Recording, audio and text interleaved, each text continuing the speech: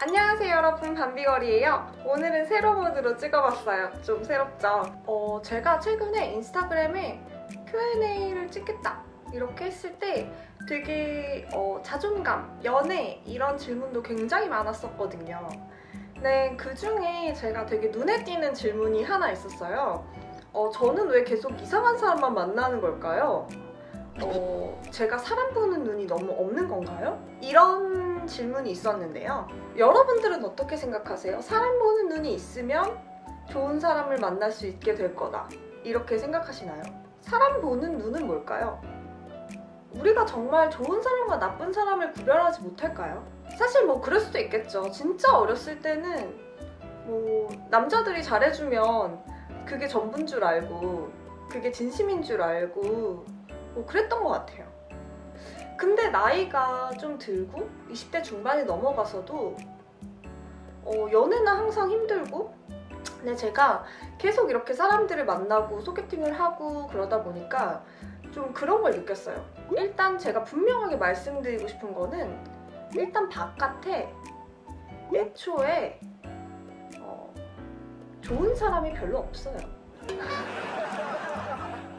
그러니까 뽑기적인 확률로만 봤을 때도 어, 내가 좋은 사람 보는 눈이 없나? 뭐 이렇게 생각할 필요가 크게 없는 게 일단 밖에 좋은 사람이 많이 없어.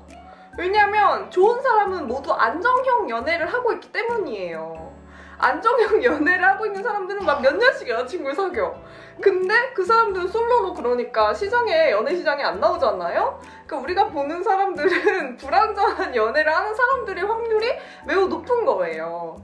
이미 확률적으로 높기 때문에 내가 거기서 아무리 열심히 뽑기를 해도 잘못된 걸 뽑을 확률이 분명히 높게 존재한다는 거죠. 그러니까 아, 너무 자책하면서 아, 난 진짜 이렇게 만나는 사람들마다 쓰레기일까? 똥차일까? 이렇게 생각할 필요가 없는 게 일단 바깥에 굉장히 그런 사람들이 많다는 거죠. 이거는 남자뿐만이 아니라 여자도 마찬가지예요. 그냥 제가 친한 오빠들이나 친한 남자인 친구들한테 물어봐도 괜찮은 여자가 없대요. 그래서 저는 그런 생각이 들더라고요. 애초에 찾기가 힘들다. 아 이런 아무런 얘기 이렇게 싼 좋은 날에 이렇게 아무런 얘기 해도 되나요 언니? 이렇게 하실 수도 있지만 그게 사실인 것 같습니다. 갑자기 팩트 폭격. 이게 연애를 하다 보면 저도 나쁜 사람만 만난 건 아닐 거 아니에요? 물론 뭐 나쁜 사람의 정의가 뭐 굉장히 다양하지만 좋은 사람도 만났고 아 진짜 그 새끼는 그냥 어디 가다 뒤졌으면 좋겠다 이런 사람도 분명히 있거든요. 근데 그때 내 자신을 생각해봤을 때 좋은 사람을 만났을 땐 내가 사람 보는 눈이 있고 안 좋은 사람 만났을 땐 내가 사람 보는 눈이 없었나? 뭐 그거는 아닌 것 같아요. 근데 그러면 언니 그럼 걔 운빨인가요? 그러면은 운에 맡기는 거면 제가 뭘 노력하는 의미가 없는 거네요? 전 그냥 가만히 있으면 되나요? 라고 하면은 또 그건 아닌 것 같아요. 일단 운은 맞으니까 그렇게 생각할 필요는 있죠. 아, 내가 혹시 좋은 사람을 만나게 되더라도 아니면 혹시 내 주변에 굉장히 좋은 연애를 하고 있는 것처럼 보이더라도 저 사람이 나보다 자존감이 높아서 혹은 사람 보는 눈이 있어서 좋은 연애를 하는 거다. 라고 그렇게 생각을 하면서 뭐 질투하거나 시기할 필요도 없는 게 그냥 매우 운이 좋았던 겁니다. 내 자신을 돌아봐도 마찬가지인 것 같아요. 내가 좋은 연애를 해도 자만할 필요가 없는 것 같아요. 그 모든 건 운이었을 수도 있다는 거죠. 사랑은 타이밍이니까요. 그래서 나쁜 사람을 만나도 아, 내가 진짜 못나서 이런 사람밖에 못 만났다. 이렇게 생각할 필요도 없는 것 같고 좋은 사람을 만났다고 와 내가 진짜 사람 보는 눈이 생겼나 봐. 이렇게 자만할 필요도 없는 것 같아요. 사실 유튜브 컨텐츠에 그런 컨텐츠가 굉장히 많아요. 사람 보는 눈 키우는 법 뭐 이런 사람 만나라 이런 연애 하세요. 글도 그런 거 너무 많고. 근데 그런 글 읽고 그런 뭐 모토 갖는다고 실제로 그런 사람 만날 수 있냐? 아 제가 이렇게 생각하게 되는 데는 계기가 있는 게 사람이 작정하고 어떤 사람을 속여야겠다 이렇게 생각하고 속이면 알 길이 없더라고요. 진짜 내가 예를 들어 아, 나는 그렇게 별로 좋은 사람이 아니야. 근데 저 사람을 어떻게 해보고 싶어. 그래서 내가 좋은 사람인 척 해.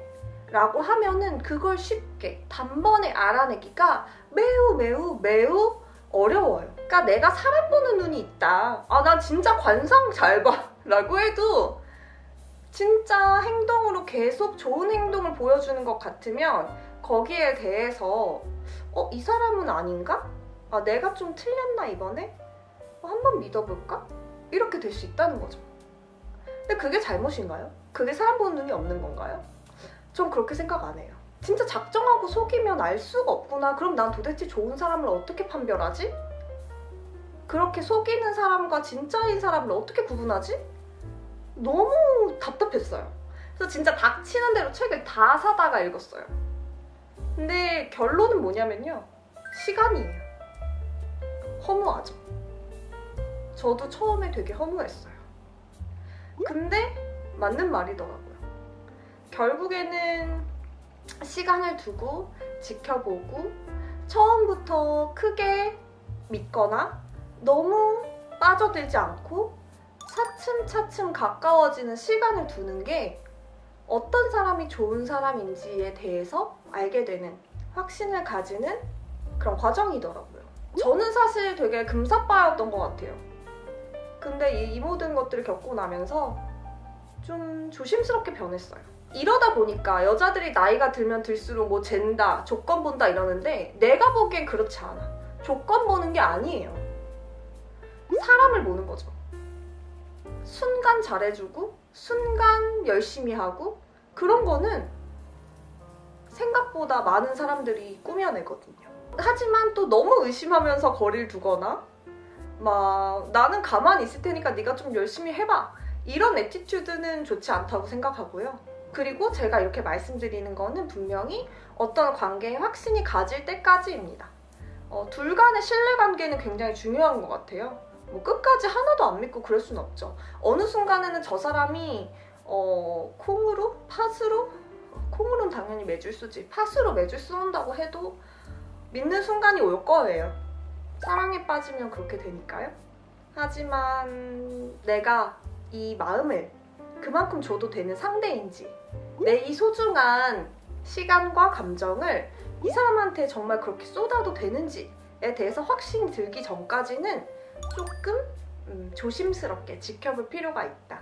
그게 바로 사람 보는 눈이다. 라고 말씀드리고 싶어요. 그래요. 여러분들 많이 공감하실 거예요. 어, 진짜 얜 진짜 다른 것 같아 해도 나중에 시간 지나보면 똑같은 애들이 막 수두룩 빽빽이에요. 뭐, 뭐 그러잖아요? 뭐 말이 아닌 행동을 봐라. 그다음에 뭐 또 뭐 있어? 뭐 촉을 믿어라. 맞아요. 촉도 좀 믿어야 돼요. 아 촉은 진짜 약간 DB 데이터베이스가 쌓인 거기 때문에 촉도 믿어야 되고 그 사람의 뭐 눈빛도 보고 다 좋은데 진짜 그것도 다 속일 수 있어요. 진짜로. 제 주변에도 그런 얘기 몇 번 들어서 진짜 소름 돋았다니까요. 막 알고 보니까 막 나이도 속이고 막 직업도 속이고. 그런 사람들 요즘 너무 많아서 여러분 중요한 건 시간입니다. 그래서 믿음의 관계를 차곡차곡 차곡차곡 쌓아나가요. 사실 조금 슬픈 면도 있어요. 예전에 좀 되게 금사빠였거든요. 근데 그 둘 중 비교해놓고 어느 모습이 어느 내 모습이 더 마음에 들어? 어, 신중한 심정연과 금사빠 심정연 중에 어느 게 더 마음에 들어? 라고 하면은 전 지금의 제가 더 마음에 듭니다. 아 그리고 마지막으로 그 얘기도 좀 하고 싶어요. 자존감이 높으면 좋은 사람을 만난다. 이것도 저는 이거는 이 이거는 이 말이 약간 좀 이상해. 이거는 좀 제가 좀 바꿔보면은 자존감이 높으면 안 좋은 사람을 만났을 때 금방 끊어낼 수 있어요. 이게 맞는 말인 것 같아요. 제가 보기에는. 왜 그러냐면 내가 자존감이 높다고 해서 좋은 사람만 만나게 되는 건 아니에요. 여러분이 혹시 똥차를 만났다? 쓰레기를 만났다? 자존감이 낮아서 쓰레기를 만나고 똥차를 만난 게 아닐 수도 있어요. 그냥 난 멀쩡히 걸어가고 있었는데 돌부리에 걸려서 넘어진 거지. 근데 내가 돌부리에 걸려서 넘어지면서 아씨 내가 이 돌부리 왜 못 봤지? 바보 멍청이 이러면서 내 탓을 너무 하지 않았으면 좋겠다는 거죠. 음, 오히려 자존감이 높은 사람은 돌부리를 안 보고 어 여기 돌부리 있네 피해가야지 이게 자존감 높은 사람이 아니라 돌부리에 걸려서 넘어졌을 때 아 돌부리에 걸렸네. 에이 뭐야? 툭툭 털고 다시 앞에 갈 수 있는 자기 길을 갈수 있는 그런 사람인 것 같아요. 그래서 여러분들이 쓰레기를 만났다. 이거는 만난 건 어쩔 수 없어. 확률성으로 쓰레기 만날 확률이 매우 높아요. 그러니까 만났으면 아씨 또 잘못 봐봤네? 오케이 버려. 이러고 딱 가시면 그게 진정 자존감이 높은 사람인 것 같아요. 이별의 속도가 좀 더 빨라지는 거? 제 개인적인 생각이었습니다. 사실 뭐 이것도 정답은 아니에요. 여러분들의 연애는 어떠셨어요? 전 여러분들 연애 이야기도 매우 매우 궁금합니다. 밑에 댓글로 많이 많이 남겨주세요. 아 너무 솔직하게 얘기했나? 이 영상 좀 반응 좋으면 저 이 시리즈를 좀 많이 찍어볼까 합니다. 어때요? good?